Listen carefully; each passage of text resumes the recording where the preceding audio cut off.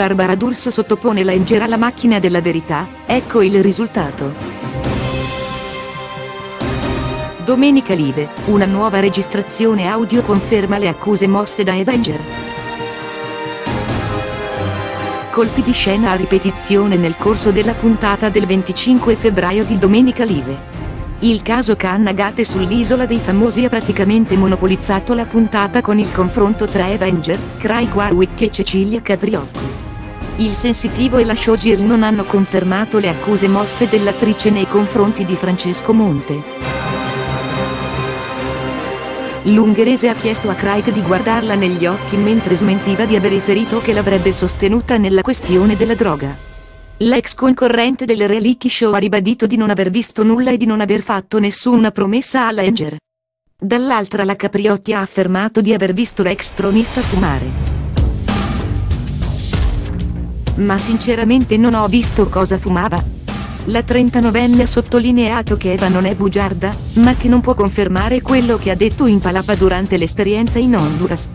Sulla questione è intervenuta anche Nadia Rinaldi, che ha precisato che la produzione l'aveva messo a conoscenza del polverone sollevatosi in Italia per la questione sollevata dalla 45enne.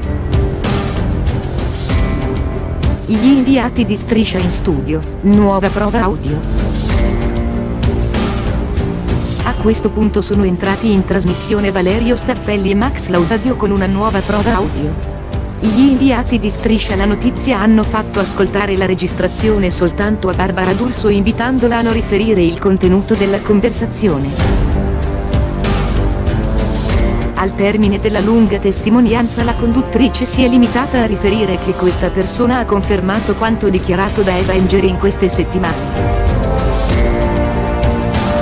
La conduttrice ha invitato Staffelli e Laudadio a far ascoltare la registrazione ad Alessia Marcuzzi.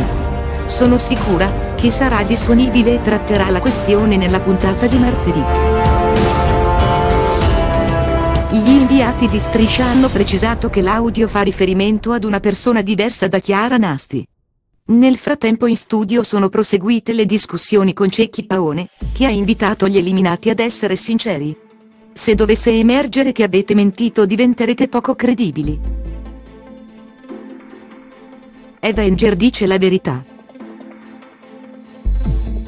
Durante la trasmissione Avenger si è sottoposta alla macchina della verità, che ha confermato che l'attrice ha detto la verità sul caso Monte. Non ho tirato fuori la vicenda della droga per vendicarmi della nomination.